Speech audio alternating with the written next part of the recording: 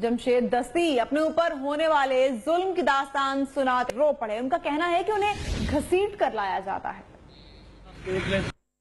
Cell में रखा है बिच्छू है वहाँ पे। और वहाँ पे आप देख लें चूहे मैंने खाए हैं। में छह दिन से भूखा हूँ, वो मेरे ऊपर कुछ खाना नहीं है, मेरी हालत को दो अलगू से है मैंने एहतजाज कौमी असम्बली ने सबने किया। नवाज़ शरीफ साहब, शेख साहब, आपको अपना वक्त याद है। मेरी बहन को जिस स्टेज पे कैंसर है, वालदा बीमार पड़ी है। दो अलगू से एम एन हूँ, मेरे ऊपर झूठे केसेस से खाली अब मैं जेल से निकला, मुझे पकड़ ली इतना तशद किया हुआ है, इतना तशद किया हुआ है कि मेरी पूरी तरीन हालत है। मैं पाँच दिन से सोया सो नहीं सका। अल्लाह है और मैं चीफ जस्टिस, सुप्रीम कोर्ट और chief justice Lahore high court को कहते जमहूरी दौर है। ये मुशरफ दौर में नहीं सो मोटो ले मुझे बुलाए मेरा कोई कसूर नहीं है, मैं गरीब एक एक पहलदार का बेटा हूँ। मैं जगीरदारों के खिलाफ खड़ा हूँ। मुझे घसीट घसीट के मार रहे हैं।